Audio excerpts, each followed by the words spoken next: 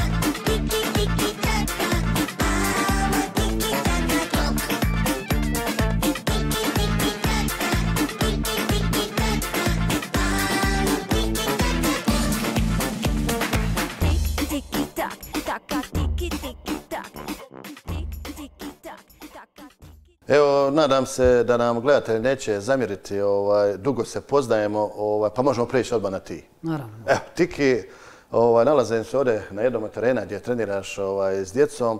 Evo, da nam ispričaš eh, koja je to škola i kako je to se počelo. Pa to je škola koju sam ja osnovao prije tri, tri godine, škola nogometa Tiki, taka se zove. Prije toga sam bio trener u Zrinskom šest godina, trenirao sam najmlađe selekcije i Onda je došlo neko vrijeme kao zasićenja, malo sam se zasitio i odlučio sam da ostvarim svoj dječački, tako reći, san, da otvorim svoju školu. To je bilo 2018. Pokušao sam i evo, uspjela. Koliko sam uspio ja saznati da djeca te vole, to ćemo saznati tijekom emisije, bit će i oni naši mali gosti jeli, da kažu nešto o svom e, treneru. E, koliko, je, koliko okupljaš djece, kako su organizirani treninzi i ono što sam uspio saznati da imaš i dječa, dječake i djevojčice. Jeste. Pa evo, trenutno škola broji 250 članova dječaka. Što nije mali broj, jel? Mislim, ogroman broj, stvarno nisam se ni blizu nadao kad sam to osnovao. I ima 20 curica, znači to, to sam posebno ponosan što 20 djevojčica hoće da se bavi nogometom i baš mi je drago. Onaj, treniramo ponedeljkom, srijedom, petkom tu na kartingu i subotom ujutru, znači četiri, četiri puta tjedno. Imamo dovoljno termina, dva terena, ovdje su nam izvrsni uvjeti na kartingu i mislim, napravili smo toliko treninga da, da rasporedimo da nije velika gužva.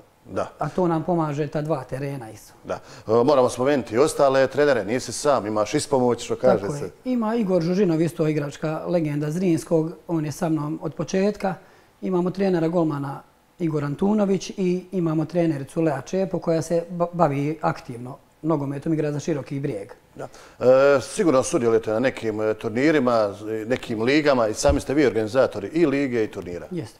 Jeste, ima liga tako reći, za, za svako godište. Djeca, mislim, to nam je cilj da igraju utakmice, da se navikavaju kako će im biti poslije kad malo odrastu. Uglavnom su lige za, za ove mlađe 2011. i 2012. su u Međugorju, po dvije lige imamo. Imam ja tu svoju za 2013. i 2014. Tako napravili smo stvarno dosta liga da može svako dijete dobiti priliku. Znači ne idemo na neki rezultat, nego pišem, na primjer, ovu nedelju bio ovaj, sljedeću drugi, tako i mijenjam da su stvarno svi zadovoljni. Da, upravo sam htio pitati, malo je možda i korona zostala neke stvari, bili ste i van granica BH na nekim turnirom? Jesmo, idemo, išli smo i u Hrvatsku i u Srbiju, u Austriju jednom, stvarno uvijek dobijaš pozive od svakle, onda mi to proslijedimo roditeljima, ako su oni za, odlučimo se da odemo na turnije neki i tako. On je jako zanimljiv trener, jako smiješan i jako dobar. Jako dobro. Recimo ovako, po, po čemu je, gdje je ovako najzanimljiviji i gdje je najbolji? Pa najbolji i najzanimljiviji je na utakmicama i na treninzima. Jel vas nauči što treba? Da. A recimo kako su rezultati imali, pobjeda? Ima i nekad, e, nekad možemo ono, da nekad da izgubimo, ali vaze opet pobjedimo. Ono. Dobro. Recimo, je li on struk kad izgubite? Ma ne, on samo kaže da smo se puno trudili i tako. Recimo, želiš postati nekad ovako nogometaš kao što je bio tvoj trener? Da, želim. Kako ti se sviđa ovdje? E, super mi je. Šta ti se najviše sviđa? E, trener, trener i kolege. Trener i kolege. A reci, evo, što ti se sviđa trener Tiki i ostali treneri? Pa trener Tiki mi se najviše sviđa zato što uvijek, uvijek nas pazi, e, uči nas sve što trebamo znati o nogometu i tako. Reci mi, kakvi su rezultati? Pa rezultati kako kad, nekad izgubimo, nekad pobjedimo. Ali najvažnije je da ste, jeli, da se bavite sportom. Da, I to trener Tiki uvijek ističe. da. Ja treniramo 2018. godine. I kako ti se sviđa ovdje? Super je, ne može biti bolje. Kakve su kolege? Super sve. A trener? Isto, trener je najbolji. Trener je najbolji. Pa čemu? Pa eto, jer je mnogo zanimljiv, e, vježbe nam lijepe daje i sve nas uči što trebamo znati o nogometu. Ono što je rano prestao kao nogometaš svoju karijeru, mislim da mu je to bio veliki plus u njegovoj trenerskoj karijeri. Naravno, njegova trenerska karijera se još nije završila, ali imao sam tu priliku da često razgovaram sa svojim sinom Vladimirom, koji je u to vrijeme skupa sa Tikijem radio u Hrvatskom športskom klubu Zrinski kao trener mlađih kategorija gdje je i Tiki radio, gdje ga je zaista i u tom trenutku hvalio na sva usta kako radi fino, kako ima jedan kvalitetan odnos sa tim svojim klincima. I od tog trenutka meni je bilo dovoljno da, da, da razvijem svoje mišljenje o Tikiju kao treneru. Znači, nije mala stvar raditi sa djecom. Treba imati strpljenja, e, treba imati živaca i naravno treba imati volje prenijeti svoje nogometno znanje na te klince. Danas Tiki ima svoju školu, mislim da je to jedna velika stvar ne samo za njega osobno, nego za sam grad, da klinci što ve, u što većem broju posjećuju takve nogometne, košarkaške ili rukometne klubove, nije važno koje, da su što manje vremena na ulici. I Tiki sa svojih, eto kažem, ne znam točan broj, ali sa tim e, klincima radi veoma kvalitetno. Moj unuk trenira kod njega u njegovoj nogometnoj školi, prezadovoljan, sa svakog treninga se vrati zadovoljan, uvijek nešto novo nauči i na par treninga sam i ja išao i vidim da je to zaista ozbiljno, što mi je veoma drago i mislim da Tiki kao trener, kao osoba, kao čovjek može dosta toga da nauči ove klinice. Malo ćemo o trenerskoj karijeri još e, na kraju emisije. E, ovo je emisija koja predstavlja vašu igračku, evo sada i trenersku karijeru. E, evo, trenirate s tim dječacima i djevojčicama. Kako je bio vaš, kakav je bio vaš početak? E, zašto nogomet? Je li bio neki sport prije nogometa? Bilo je plivanje od sedme do devete godine kad sam bio dijete i onda nekako je logično tada je nogomet, mislim koji sada svi najviše vole nogomet. Igrao mi je i zet tada u Veležu Goran Jurić, pa i on je nekako prenio na mene tu ljubav. Prvi me on i odveo na, na treningu u Velež. E, Goran Jurić oženio vašu sestru, jel? Tako, oženio moju sestru. On me odveo na prvi trening i mislim igrali smo do tada ispred zgrade ulice, samo se lopta igrala, pa ljubav je onda ostala i do dan danas. Znači, Velež, ajmo, sjetiti te generacije, kako je to izgledalo, i trenera. Velež, 89. su nam, znači mi smo tada bili kadeti, već predviđali kao da se pojavila nova generacija BMW-a, Bajević, Marić, Vladić.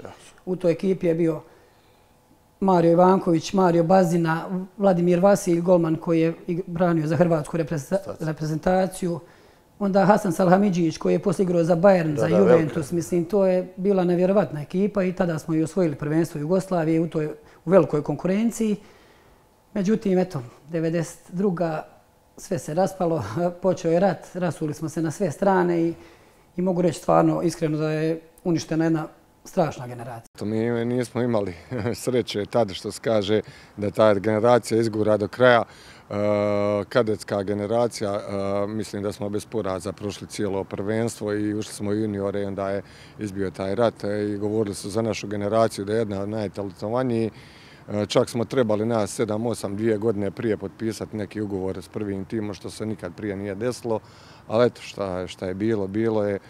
Tu je pored Tikija bilo stvarno nas jedno 7-8 ekstra igrača i evo, svi smo poslije i ostali u nogometu napravili kakve takve karijere, ali ko zna šta bi bilo da je bio normalno vrijeme. Znam ga dok je mali bio. Blizu smo se novili na Aveni, zgrada dozgrade i taj mali je po jedinu igračku imao loptu. Ja sam ga gledao kroz prozor, ja sam tada igrao u prvoj ligi i gledao sam ga kroz prozor, on je po dva, tri sata uzimao loptu i udarao od zid. Odmah sam vidio da bi moglo nešto od njega biti. Dolazi, znači, rat, evo, rekao se, otišao je svak svojim putem. Što onda? Je li si bio kratak prekid karijere ili si nastavio? Pa bila je pauza jedno 7-8 mjeseci i onda je 93. se ponovo, kad je ono Zrinski, osniva se ponovo Zrinski. Mican Korić pokojni, znači od vrata do vrata kuca nama bivšim igračima koji smo ostali tu u ratu i zove nas da krenemo igrati za Zrinski. Eto, da, upravo uspio sam pročitati, bio je Zmaj od Makarske, ali to je bilo prije Zrinskog? A to je bilo, u, znači i moglo se igrati u isto vrijeme. Igrao sam i za Zmaj i za Makarsku, jedan vikend, drugi kad nema utakmice za Zrinski. Uglavnom moglo se igrati i, u Hrvatskoj i u BiH. Tada se to, Evo, u stivanju jeli, ponovno Zrinskoga sigurno su i tu bila neka imena koja se trenirala, sa njima je bilo neki stariji iskusti imena. Jeste, eto odmah, mislim, Dalibor Cvitanović, moj trener Baka, onda Mario Ivanković, Vasilj na golu isto, Drago Bokšić, bilo je stvarno dobri, Slaven Musa, svi smo tu od početka bili Kako su bili sami ti početci, treninzi, ratna suzbivanja? Pa, niste mogli čak ni Mostaru, išli ste u široki brijeg? Tako je, nismo. Bilo je baš teško. Mislim, eto, pod granatama smo svaki dan išli ili u Brotnju, gore na stadion Brotnja, ili u široki. Ali to, mislim, eto, više je drago ti je bilo normalno što je to osnovalo i sve, ali svaki dan je bila glava u torbi, hoće, hoće li te pogoditi granata s brda ili... Ali eto, izdržali smo. E, sjećaš se možda one prve utakmice, recimo, proti Krovaca i Zmijavaca, možemo reći, to je prva utakmica Zrinskoga nakon novog utemeljenja. Sjećam se da sam bio ljuč, što me Mica nije od početka stario. Onaj, dobro, mislim, bio se stvarno najmlađi, 17 godina, I sve to došlo poslije na svoje mjesto, ali eto tada sjećam se to da sam bio kao ljuč. Ali jesu zabilježe minute, jesu, jel? Jesmo, zabilježili smo svi, ušli smo svi, onaj... Eto, izgubili smo, ali Maka Ivanković je dao taj prvi go za... Povijesni, jel? Povijesni za Zrinski i najveći cilj je bio da, da je to krenulo i da je Zrinski ponovo ja, Kad spominješ tu prvu utakmicu, nedavno ste odigrali prijateljsku utakmicu sa Slavijom, ili iz Istočnog Starajeva, dobilježite onu obljetnicu od te utakmice prve. Jesmo, jesmo odigrali. Kako je to bilo? Vidi, vidite ove sve stare kolege i neke igrače? Jeli, Ma super uvijek je, mislim, drago vidjeti stare igrače i sjetiti se i, i vidjeti kao prvo na što sada ličimo, kako smo se promijenili, ostarili, ali dobro je, mislim, odigrala se utakmica, poslije smo se malo družili. A poznanstvo praktično traje odavno, negdje od 92. 3. godine, kad sam ja kao igrač Peskare dolazio i nakon reorganizacije Hrvatskog nogometnog kluba Zrinski dolazi u Mostar igrati za Zrinski. Tada je i Tiki kao mlad, perspektivan igrač nastupao. Evo baš i nedavno sam gledao jednu zajedničku fotografiju, ja i on. I mogu reći da, da kao što i danas mislim, da u to vrijeme sam u Tikiju vidio jednoga zaista, malo je reći, najborbenijeg igrača kojeg sam ja općenito u, u životu imao prilike da, da gledam ili da igram s njim za njega nije bilo izgubljene lopte, mlad, poletan, voljan. Tako da s te strane početka njegove igračke karijere mogu da kažem da je mnogo obećavao. Koliko ostaješ u Zrinsko, kad, odlazi, kad odlaziš u Široki brijeg? Prvo, Ili je opet bio Zmaj Makarske pomalo? Vidim, stalno je bio spominjen za taj... Pomalo Zmaj Makarska. Uh, ovdje smo igrali protiv Hrvatskog dragovoljca, da. prijateljsku utakmicu i, I posle te utakmice je meni prišao predsjednik Stjepan Spajić i pitao mene, eto nešto sam mu se svidio, hoćeš li ići u Dragovoljac? Bravo, bravo. Ja pitao u Zrinskom mogu li probati u Dragovoljcu, onda sam otišao znači prvo u Dragovoljac. Kako je to bilo u Dragovoljcu? Godinu dana sam, tu sam stvarno opet 19 mi je godina, a ostali igrači su bili Tarzan Cvjetković, Baka Slišković, Goran Jurić, onda Ante Jakovljeć. Znači, svi skoro duplo bili stariji od mene i nisam baš dobio priliku. na kapaljku, on sam onda otišao na polusezonu u, na posudbu u Lokomotivu iz Zagreba. Da, da, da, spominje se To je treća liga. I tu sam se nekako vratio u život. I poslije toga onda sam se vratio u Dragovoljac, vidio sam da neću baš dobijati prilike te godina, mislim, u stvari zavisi, možda i radi kvalitete, stvarno su bili kvalitetni igrači, uglavnom nisam mogao izbiti u prvi plan. I onda sam nekako stupio u kontakt, da opet prijateljska utakmica protiv Širokog u Širokom. Da, da. U Širokom, eto igrao sam tu od početka i, i poslije te utakmice Marinko Gilja, predsjednik tada Širokog, me pitao bil došao u Široki i tako sam završio u Širokom godinu dana. Pa Tiki kao igrač, Tiki igrao tadašnjeg desnog beka, što se kaže, ovaj, sada je neka modernija izvedba desni i bočni, ovaj, vrlo agresivan, žustar, brz, potom je bio prepoznatljiv i po njegovoj strani baš i nije bilo nekih prodora, ovaj, moram reći. Tako da je, takav je bio i u privatnom životu, dosta impulzivan, ali korektan i pošten, nada se. Tiki nije igrao samo u odbrani, Tiki je bio agresivan kao odbrameni igrač, ali valjda i po nekoj navici, po vokaciji je volio da ide naprijed, često je završavao, ne često, nego mnogo puta je završavao i kao desno krilo, hajmo reći, prema naprijed, volio je da, da, da, da ode u napad, e, što je praktično današnjim bočnim igračima najpotrebnije. Tako da možemo reći da je to bio jedan igrač predča današnjih najkvalitetnijih bočnih igrača i samim tim u njemu su svi treneri vidjeli jedan potencijal. E, Godinu dana u Širokom brijegu e, imali smo neki, e, prije nekoliko mjeseci prati na programu radio televizije Herceg Bosna, jednu povijest utakmicu Paragvaj Herceg Bosna. Vidjeli smo te kolege, bilo je Ljubuški i Široki ekip. Kako je bilo to tada u Jeste. Širokom? Bilo je kvalitetni imena u to vrijeme u Herceg-Bosanskom prvenstvu. Jeste, Široki stvarno ekipa bila izvanredna. Bio Goran Dukić, je to pokojni je, na golu. Robert Lončar, Slaven Musa, Tiša Bogdan, Stanko i Zoran Bubalo, braća, Boro Matan, evo zaboravit ću nekoga, Da, da Babić dole u odbrani, e, Anđelko Kvesić, stvarno, Mario Bonić u, u, u ve- vezi, ne mogu se stvarno neke, ispričavam se što se ne mogu sjetiti. Ali ekipa, eto, osvojili smo tada prvenstvo Herceg Bosne sa Širokim. Borba sa, Lju, sa Ljubuškim bio. Sa Ljubuškim, jeste. Mada su bila kao ono dvije grupe i Široki je završio u finalu, sa, tada je bio taj Kostač neki. Da, da. Kostač seljak u toj grupi. Uglavnom to smo nekako lagano osvojili. Da. Ovaj, moram spomenuti o Paragvaj, Herceg, Bosna. Bio se sudjenik, pravili smo taj dokumentarni film. Sigurno veliko priznanje, jeli? Pa I ostaju jeste, evo, sjećanje. mislim, drago ti je svake godine se to obilježava i uvijek se spominje tvoje ime, mislim, drago mi je što sam bio sudionik toga i da je postojala reprezentacija, da će možda opet postojati. E, pričao sam u toj emisiji, stvarno, nismo znali gdje idemo. Išlo je pola igrača iz Ljubuškog, pola ekipe, pola iz Širokog. Nekako su na, u utorak nam rekli idete u četvrtak u Paragvaj. Isto da ćemo tu negdje blizu. I nismo znali s kim igramo, misli igrat ćemo s nekim našim izbjeglicama gore. Ali kad smo dole do- gore došli, pun stadion, tamo Akunja, Čilavert na golu, sve oni poslije što su stvarno igrali na svjetskom prvenstvu. Eto, izgubili smo 3-0, ali stvarno nije to ništa strašno. Ovaj, ima zanimljiva scena na terenu kada te gonjaju novinari u Paragvaju. Što je se točno dogodilo? Pokušat ćemo tu emisiju dočarati kroz, kroz video prikaz i, ubacit ćemo glumce da odglume kako je to Pa izgledalo. eto, kako sam ja onaj godinu dana živio u Španjolskoj, stvarno sam dobro naučio jezik i neko je to rekao tim tamo Paragvajcima i oni pričaju španjolski. I nisu me htjeli nikako pustiti ispred mene oni mikrofona, deset, kod da sam Maradona. I ne puštaju nikako, trebam se zagrijavati, ovaj trči za mnom po terenu, ja govorim, pusti me čovječe, moram se, tengo que kalentarme, da se zagrijem, počinje utakmica za dvije minute. I tako malo, malo sam se uzgo, osjećao se ko zvijezda.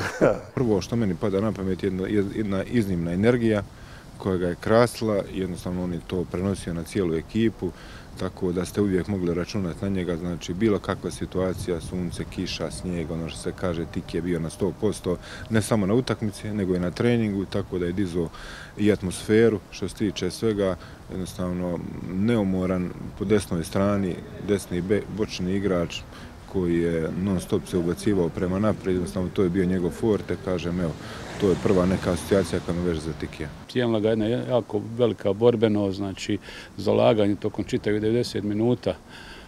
Igrao je na toj poziciji desnog beka i bio je, majmo reći, u toj poziciji jako dobar. Krasla ga jedna ofanzivna igra i dobar centaš. U širokom se ostaje jedna godina, osvaja se Herceg-Bosansko prvenstvo i nakon toga je li slijedi povratak od Zrinski. Jeste. Jel, kako je došlo? Ko je tada? Je li se premijela neko vodstvo u klubu? Tada je Bata Puljić bio direktor, mislim on je bio taj zbog kojega sam se vratio i Dika Slezak je bio predsjednik. A nekako je, mislim, logično bilo, jesam ja bio svugdje, ono je bilo mi je lijepo i u Širokom i, i svugdje, ali... U Dragovoljcu, da. U Dragovoljcu, ali opet nekako sam uvijek patio i za Mostaru, i Zrinski, ali eto tada kad sam otišao u Široki, nekako nije se, nije se nudilo da, da dođem, niti su mi nešto davali, da neki razlog da dođem tu. Da. Ne može se, mislim, samo ni iz ljubav igra, moraš gledati to će ga živiš. Ta, ali eto, jedva sam dočekao stvarno da se vratim u Zrinski i da. došao sam na sve. Idemo malo sada koga da čekajete u ekipi, kakve su bile ambicije, kakvi su bili rezultati tada u prvenstvu.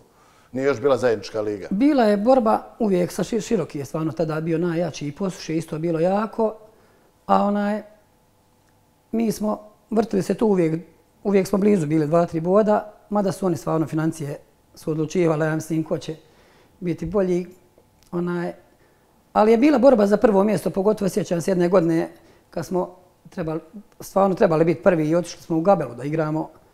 Međutim, sva što se gore desilo, ono kao Gabela će ispasti, a nama treba za prvo mjesto, ma nema šta nam nisu gore radili.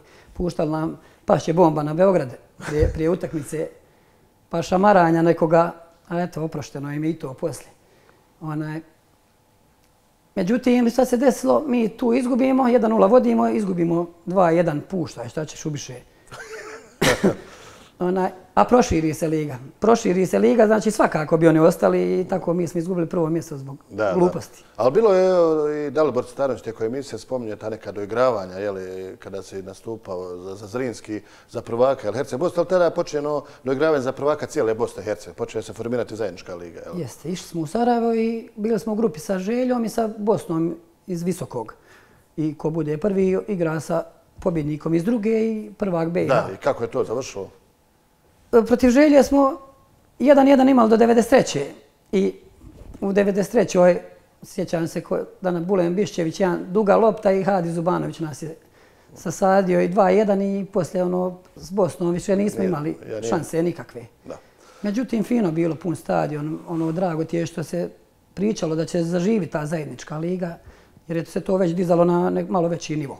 On je, on je bio taj koji je sagorijevo na terenu, koji je dao najveći doprinos i koji je, i koji je ginuo e, za momčad, ali je dao, dao uvijek i velik, velik doprinos i, i samom sebi, jer bi namjestio go, dao go, njegove obacivanja nisu bila na pamet kao, kao, kao što se često dešava i to, nego njegove lopte su bile e, ili dodane ili, ili centrirane baš oni gdje treba. Tiki baš bio polivalentan igrač, motoričan, volio taj nogomet, davo je sve od sebe, imao je moć ponavljanja.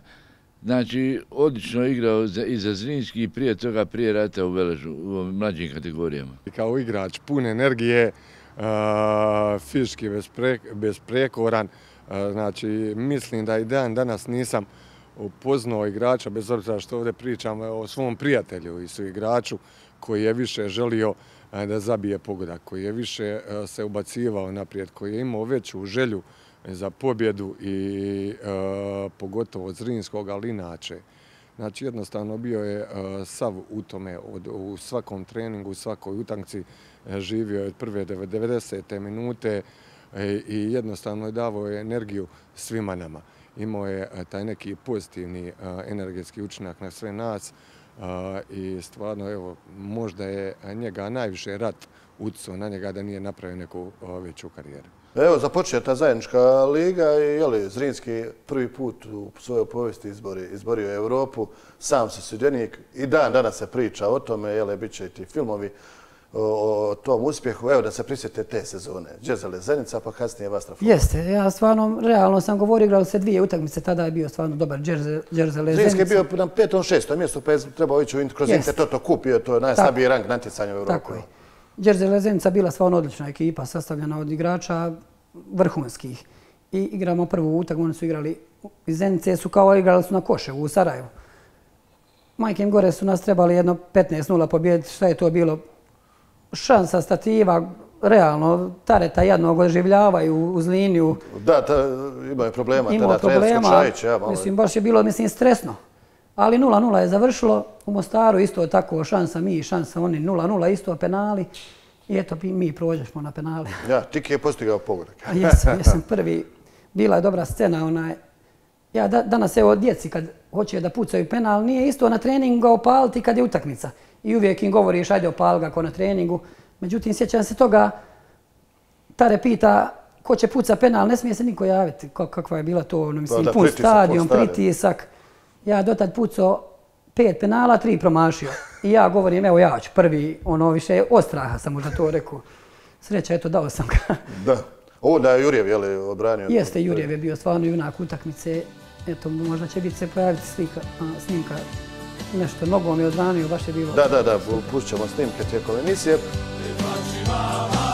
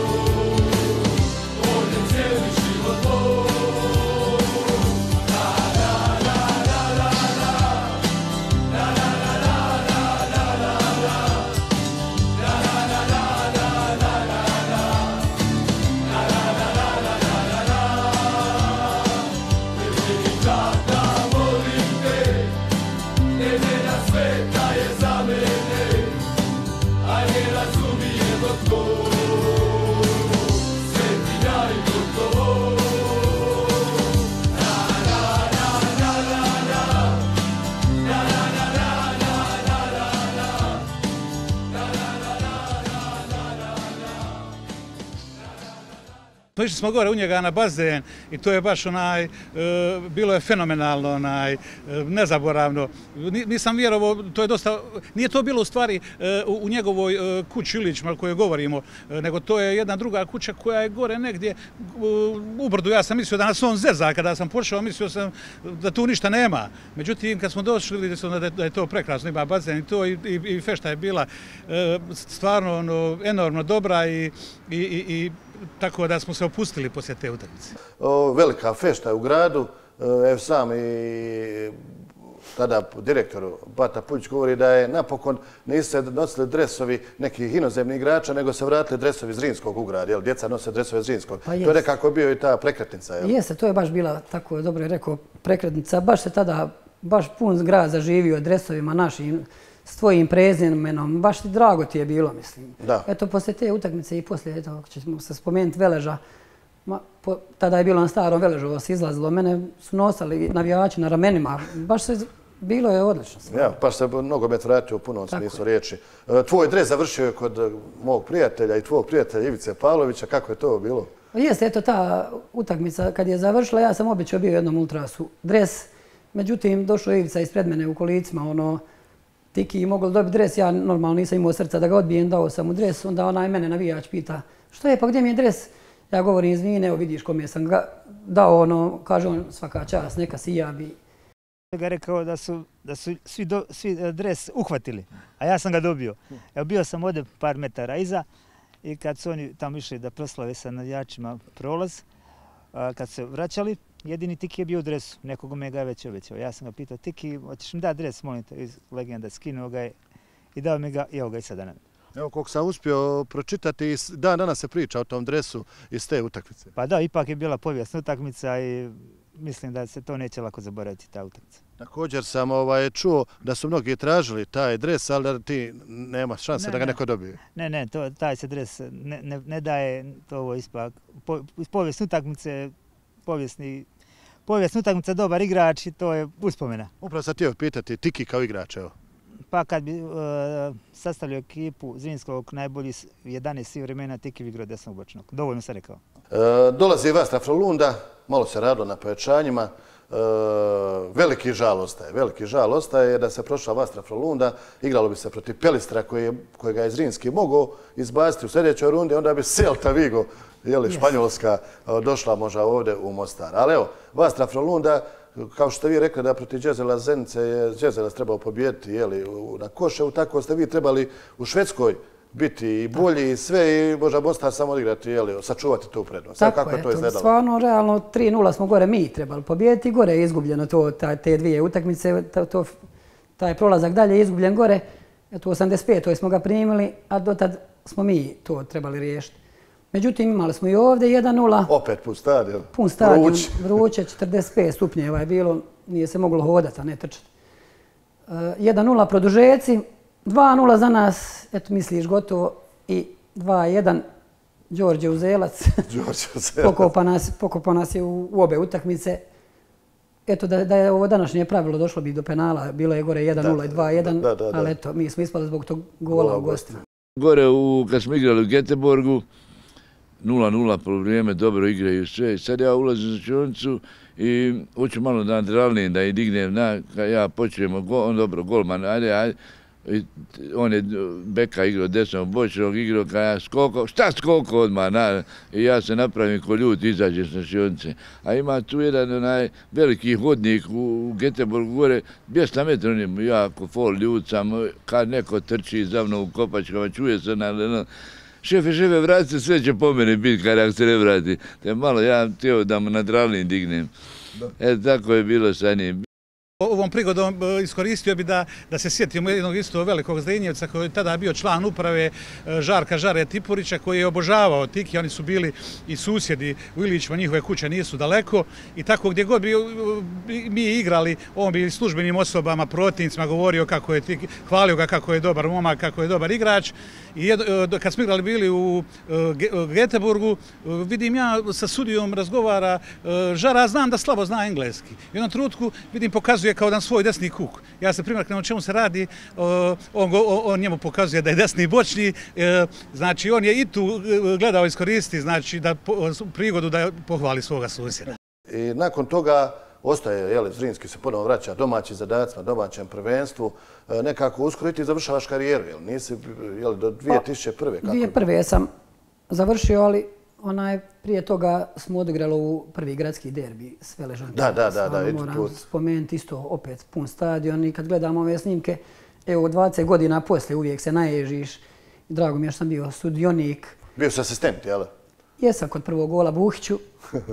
onaj drugi je Nedeljko Jurić, 2-0. Ali puno stajanje, red armija vamo, naši, mislim, stvarno, bila atmosfera ono pravo južnjačka. Možemo reći da se ti doživete međunarodne utakmice i gradske derbi, ono što svak želi pa da. Pa ja kad malo razmišljam, moglo da se normalno uvijek više, ali neko bi možda i ovo želio da je doživio što sam ja, jer igralo se stvarno Evropa i, i ovo pravo prvenstvo pred punim stadionima i to je meni čast.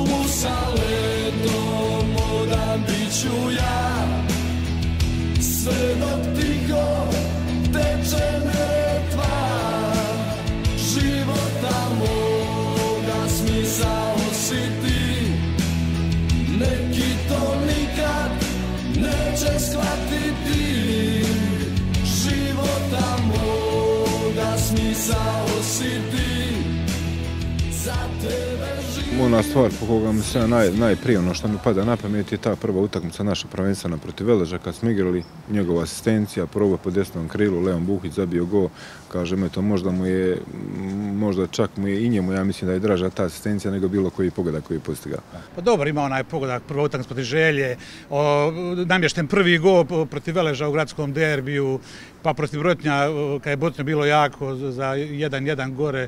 Je li bilo neki inozemni ponuda, angažmana? Svakako igrači cilj malo otići, zaraditi novac, naravno. Jeste nešto se svašta pričalo, nisam nekako... Evo, danas svaki igrač ima menadžera. Ja sam tada bio sam, niti je se to spominjalo da te neko gurne ili nešto. Je li mogo zet goca pogurati? pa, možda nije htio. nije da je mogo stvarno pomogao bi valjda, ali više sam htio sam da to izborim, ali nije se moglo sam. Moraš imati nekoga da, da, da to nekome ponudi, da zna da si živ, a ne ovako, mislim. Bilo je neki uvijek natpisa ide skok u Austriju, Izrael, ali nikad ništa konkretno.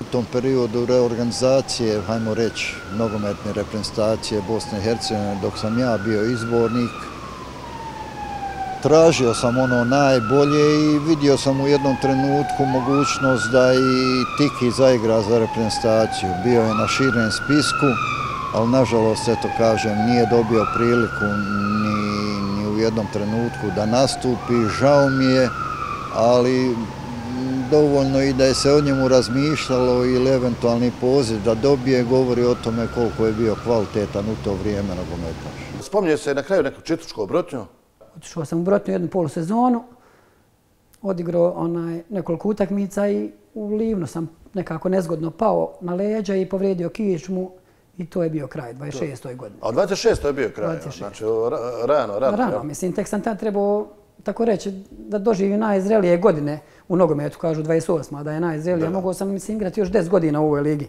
Da, da. Takva je, ali eto. Pokušao sam se... Se pokušavao vratiti? Pokušao se vratiti dva, tri puta jer nije se meni moglo dokazati ne možeš više igrati lopte ostao si bez najdražeg u životu, jedinog što znam raditi. Ali stvarno ono, odradim jedan trening ili utakmicu, sutra preko sutra ne mogu ustati iz kreveta, ne mogu pet dana ustati iz kreveta i stvarno sam morao prestati. I šta, nakon toga, kako, kako si to prihvatio? Evo, Nikako. Pratio sam neki dan e, intervju Marija Ančića koji je, on je otišao odmah u druge vode, ove biznisene. Ovaj, shvatio je to tako, ne mogu više, on je u 23. godini. A dobro, ja nisam mogao shvatiti jer stvarno sam to volio nemoguće onaj i šta sad? Ono pitanje je bilo šta ću sada da mi nije roditelja brata ne bi mogao živjeti mislim ali nije to to ono u tim godinama da, da ti od mame i tate živiš. Da da da. Nakon toga kad se shvatio je li nekako ja, da da to sam htio reći onaj bilo mi je grozno stvarno upao sam u neku vrstu depresije a kažu da inače nogometaši kad ne znaju više šta kako ono nije baš zgodno ako nisi napravio nešto od toga. I meni je svo to stvarno tako bilo, mislim, baš mi je bilo godinu dana sam plakao što nisam, što ne mogu više igrati. I malo se to onda počelo smirivati. Da. Posle dolazi ono privatni da. način života. Da, bio, malo se se bacio u gostetske. Gostetstvo, šta će nogometaš nego u kafić otvoriti posle. Da. E, ovaj, e, bio si uspješan gostelj, kao što si bio uspješan igrač, sada si uspješan e, trener. Završila je ta ugostiteljska faza i dolaze jele, sigurno poziv iz Rinskog da se priključiš. Yes. Svima je bilo drago što se Tiki vraća u Rinsk, ali evo ovaj put kao trener. Jeste, onaj, stvarno Elvis Margeta mi je tu pomogao puno, moj suigrač, dragi, i on je rekao Draganu Periću, šefu omladinske škole, mislim, predložio mu da, da, da me vrate i Dragan je to stvarno jedva dočekao, i, a i ja mogu vam reći, poslije ono, tog teškog načina ugostiteljstva, kad se nešto radi i ne radi, moraš vratio se stvarno ono na mjesto gdje pripadam i šta jedino volim. To je rad. Evo, kao prvo tada počeo je rad s djecom, evo, nastavilo je se i do sad.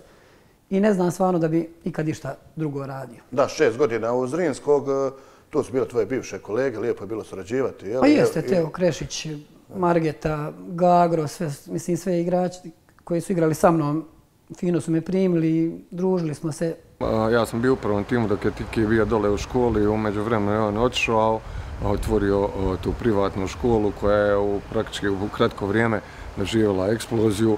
Jednostavno, potom je vidite da on radi kako treba. Vidim po roditeljima, po djece što su kod njega, da, da su zadovoljni radom. Jednostavno, Tiki je takav, on se zna podrediti, spustiti na taj dječji nivo kad se radi, radi, kad se zeza, zeza i odgovorane prema djeci, priušti sve što treba i evo, rezultati pokazuju po njegovoj školi gdje je šta. Mislim da se on našao tu, onaj, pogotovo u radu s djecom, zato što je jednostavno on je pun energije, kao i ta djeca, da se on može spustiti ono, na njihov nivo, da bude jednostavno ono što se kaže njihovih godina, I, i evo, našao se tu, ima svoju školu, radi dobro, Bogu hvala, jel, ja mu želim da nastavi to, čim je on zadovoljan sa tim da radi, čim je on sretan, jednostavno znam da se ta djeca sretna, ima dosta djece, dosta rezultata, dobri i svega, tako da, da mislim da se on pronašao, da se on pronašao u tome, jel, neko se pronađe s djecom, neko se pronađe sa seniorima, uglavnom trebate raditi ono što se zadovoljno.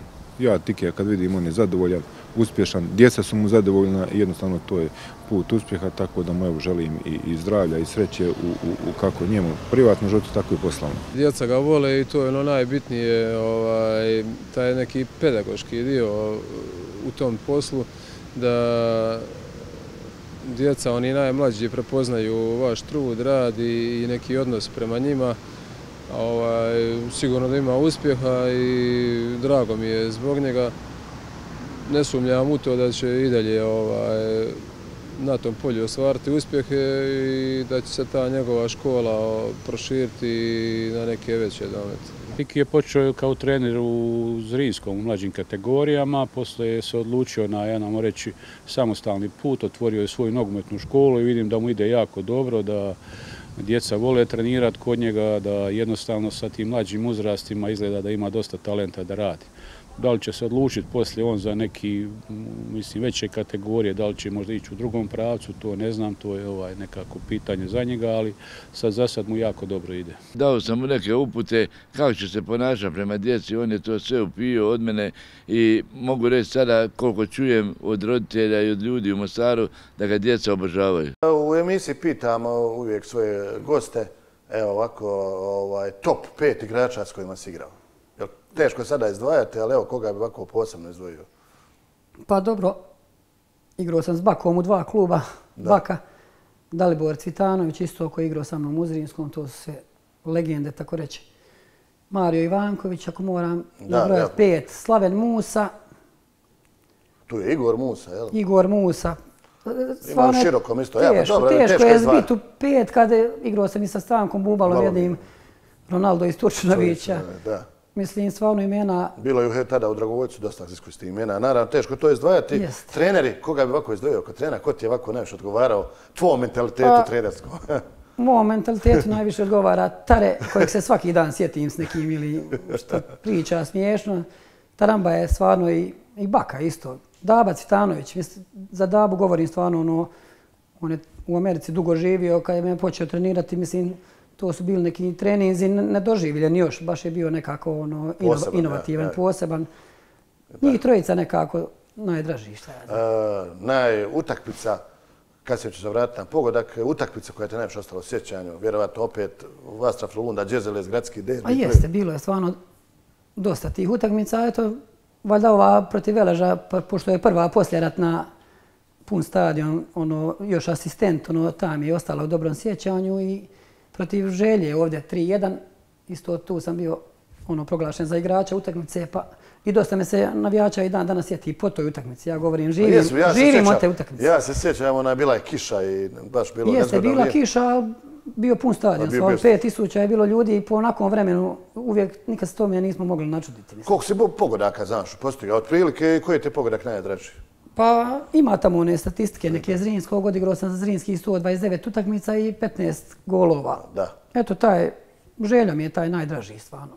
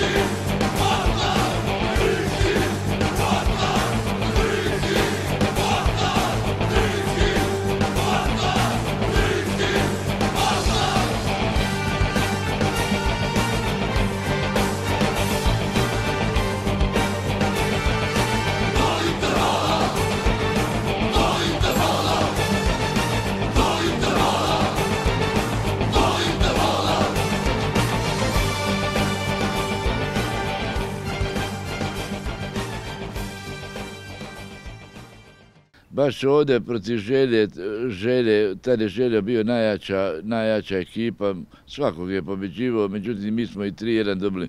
Tiki je tu igra, i, bio igrač utakmice, postigao je gol i još asistirao jedan gol i jedno pet minuta do kraja zove o mene šefe, šefe, mora li jedna izmjena da dobije aplauza. Tad sam ja da ga nagradim malo, baš sam napravio izgled da drago. Ja mislim da je narastao dva centa onda.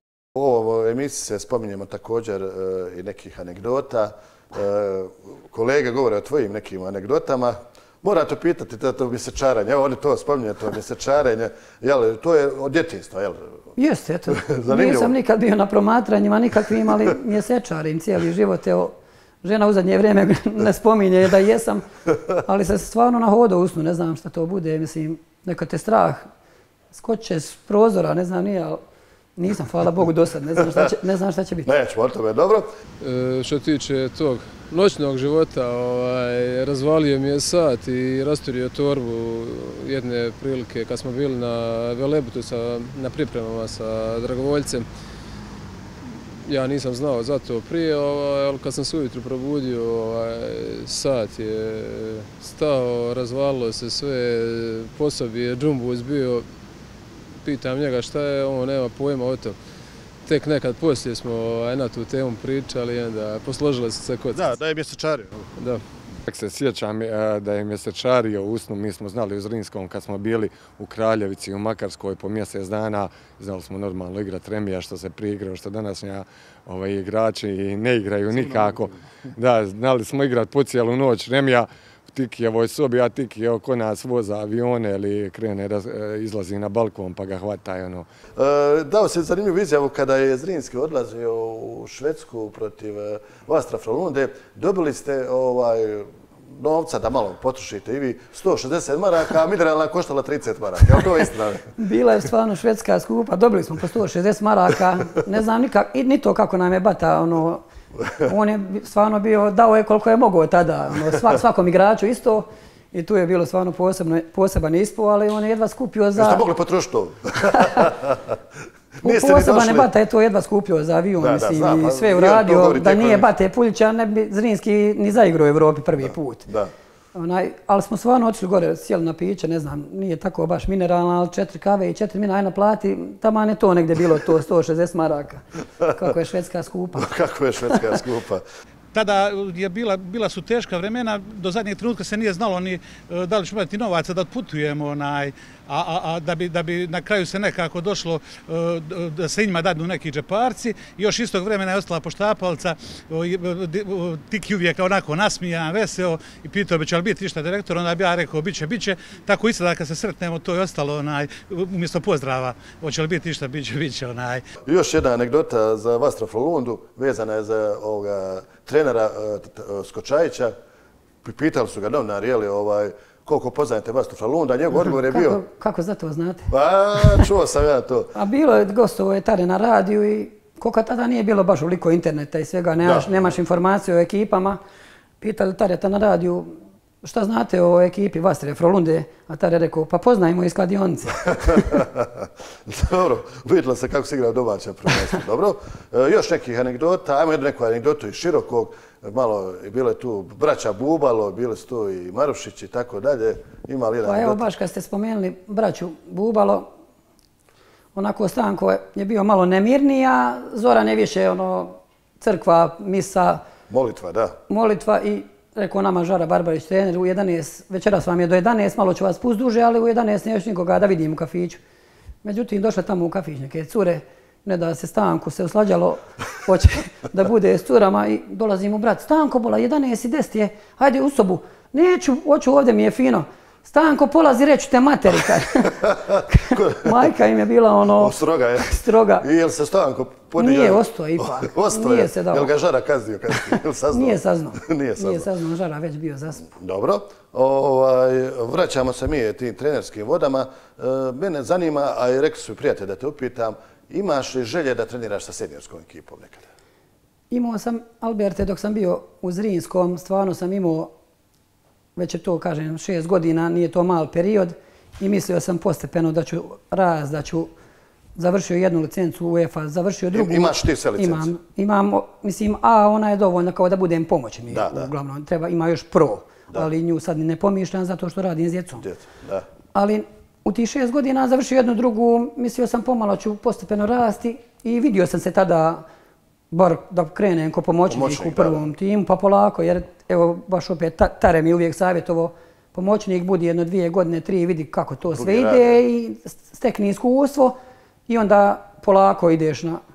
I govorio mi je stvarno i Dragan Perić da me vidi u prvom timu, međutim nije se ništa stvarno pomicalo i I to je možda jedan od razloga što sam... Otvorio svoje. Što sam otvorio svoje, mislio sam, mogu i sam to raditi, s djecom. A evo sad, kako sam s njima počeo raditi, sad stvarno... Zaljubio se. A i oni su tebe s djecom. Uvijek sam bio s djecom. Zad nije meni nikad bilo mrsko raditi s djecom. Ali sam, kažem ti, mislio da ću završiti u prvom timu u tih šest godina. I nije se ništa promijenilo i tako je ostalo. Meni je izuzetno bilo drago što je on u to vrijeme bio u Zrinskom, eh, jer kad je bilo teško, kad su bili problemi, iako je on bio igrač, eh, kad bi, kad bi njega vidio od, od, od, njegov osmijeh koji uvijek on ima na licu, jednostavno bi i meni popravio dan i on jednostavno vjerujem da zna sa djecom da će od njih ne samo napraviti dobre igrače, nego i dobre ljude koji će, koji će eh, se znati ponašati u društvu i socijalizirati. Uvijek je raspoložen za, za šalu i dan danas uvijek mu je osmijeh na licu ujutru ja kad izađem, pa kad ga vidim nasmijanom, odmah mi je dan ljepši, tako da nešto posebno kažem, anegdota nema, ali sam mišljenja i ponavljam da kao osoba, kao čovjek, kao nogometaš i dan, dan danas kao trener, zaista je u velikom u velikoj količini zaslužan za, za, za, za razvoj i nadam se da će razvoj mladih ovih klinaca i nadam se da će u ovome gradu pod njegovim vodstvom jednog dana se izroditi možda i, i neki novi Skoko, neki novi Slišković, Vladić, Halković. Koliko pratiš sada Zrinski, evo Zrinski ove sezone, u istinu? Ma pratim, sad ja. oko nikad. Ono, eto, kad sam tada lopte presto igra, nisam više mogu od razočarenja ni, ni gleda ništa, a sad Što misliš o ovoj ekipi nekoliko... Zrinsko, hoće li potvrditi da su najbolji? Hoće. Ja mislim da je to nije nikad gotovo dok nije gotovo, ali mislim da je ovo stvarno da Zrinskom ne može niko ništa. Mislim kako igraju i Jakirević to posložio po svom, čini da se nekako nikomu se nije ni miješao i malo mi je krivo za, za prošlu sezonu što su Sergeja kao razapinjali nisi ušao u Evropu. Ja. Mislim, bilo... A možda je to, možda sve se do, Jeste, naplati. Dobro, evo, ispalo. I, a bilo je u BO dva, mislim, hoću da kažem kako je mala razlika, jesi li heroj ili, ili, ili ćete razapinjati. Pa to je u Mostaru, Mostaru je to Jeste, tako. ali ne treba to tako. Bilo, bilo je dobro i prošle, mislim, godine. Moram, mislim, možeš cijelo prvenstvo pobijediti, ono, izgubio si gore dva boda, ne znam, mladost, doboj, kakva je ona ca pitala, hoćeš u Evropu ili nećeš. Mislim, blizu je to bilo. Krivo mi je samo što tako lako Ljudi, do juče su ga pljuvali, sad je heroj, mislim. Da. Ovaj, kvaliteta nogometa u BiH, e, bil mogao ti sa svojom tada, koji si imao te kvalitete, igrati u ovom prvenstvu, u ovim godinama? Pa dobro, malo nekako sam ja... Ti si bio desni boč, ti si nekako najavio taj više, nema desni bek, nego ja. desni boč, ti se kaže. ja sam malo bio, nekako sam samo uvjeren, ja uvijek mislim da bi mogao i da bi mogo i ovo, jer nekako sam uvijek vjerovao u sebe na terenu. Mislim, nisam razmišljao, ne može meni niko ništa na terenu. A i mislim, dobro se igralo, što ja znam. Lako je, mislim, s dobrim igračima igrati. Da, da, da, imaš kvalitet. Puno sam ovisio o dobrom veznom igraču, ali uvijek je u ekipi bilo ti dobri vezni. Da. E, evo, lagano ćemo privoditi kraju ovaj razgovor. Ja moram reći samo da se meni ukrao čečački san. Znaš to? Jeli? Ja. Zašto si meni ukrao dječački san? Povezano sa školom. Povezano sa školom. Sjeća se ti toga, samo što neće da kažeš odva. Znači, 88. 89. godina Tiki je bila finale škola u Mostaru, svi škola u Mostaru, jeli? I finalu se sastala šesta osnovna, jeli, ovaj, Šančeve ulice za koju sam ja igrao i protiv deseti. Ti si išao u deseti, jel, današnju Petra Bakule. Yes. Finale, 3-0 mi vodimo, ja tebe čuvam. Znači, čuvam te tiki, ne možeš mi I ja malo odem u napad, sam dao gol, golove za u četiri finalu, polufinalu. Mora se spomenuti Igora Zovke, koji je u tebe radio, jel, jedno vrijeme yes. ste držao goste. Bio je tu ovaj, Mario Kljajo, Šima, Čaltin, brat, Nenad Gagro, Džeko, Elvedin Kelecija i Goran Vujčić. Znam našu ekipu, dobra ekipa. I ja odem u napad, ti mi tri gola zabiješ, 3-3 i na penale izgubimo. Moram te to, jel te malo žao mene sad? Jes, dobro, ali rano se opustio. Nije, nije gotovo dok sudac ne osvira kraj.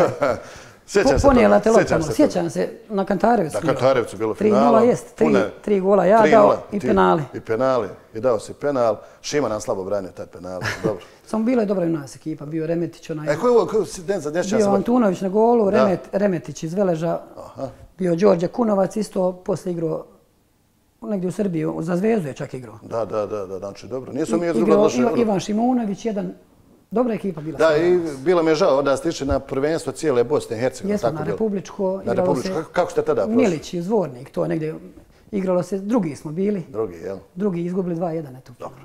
Eto, malo su se posjetili naših Jes, dječaških školskih dana.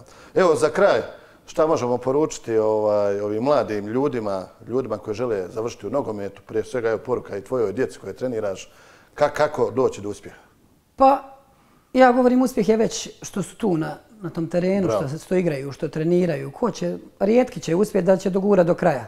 Ali ovo im je spas, to im ja uvijek ponavljam na treningu. Nije mobi, kan se mobitel. Normalno, nisu na mobitel, aktivni su. Ovo je kao prvo zdravlje za djecu, druženje.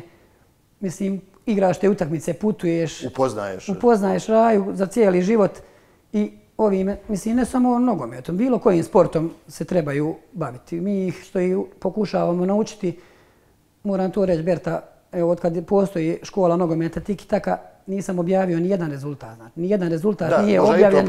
Ni jedan nisam objavio, niti ću ikad dok sam ja rekao sam živ, jer rezultat mi je to da se bave s time. Bravo, bravo. Utakmica se može izgubiti, može se pobijediti, ali meni je i kad izgube nekad sam sretan jer su dali sve od sebe, oznojili se, trudili su se i to i nekako pokušavamo naučiti da, da ne odustaju, da se bore.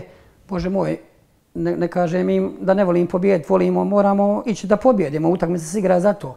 Ali eto, ne ističemo nikako te rezultate, Bravo. pokazuje se to oko dobar način, jer dobijaju, dobivaju svi priliku i nije mi važno stvarno ko je dobar, ko nije. Dobro, voli Evo, čim se pojavi neki bolji, ja mu kažem, idi, mislim, sa 12-11 godina ide u Zrinski jer trebaš na veći Da, teren. ili su škole idu u druge klubove. veoma. Tako je, mi, Kako stare, ili u? Branitelj gdje će Da, igrati, u, da. u Seju, NK Mostar, Kruševo. Možeš li malo za, da, da imitiraš malo Tikija, svog trenera? Može. Ajde. Evo prvo će biti kada, kada naš obrambeni igrač vrati golmanu loptu pa mi primimo gol. Ajde da vidimo kako to izgleda. Pa nemoj vraćat nazad, naprijed, tamo trebaš zabit gol, ne u svoj gol. Dobro, a ima li još neko emitiranje?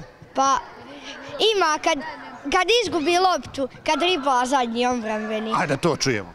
A nemoj driblat, pas odmah, otkrio ti se tamo, imaš lijevu i desnu stranu. Bravo, majstore. Završit ćemo s jednom prigodnom pjesmicom ovaj, ovu emisiju koju su pripremila tvoja djeca koja treniraju u tebe.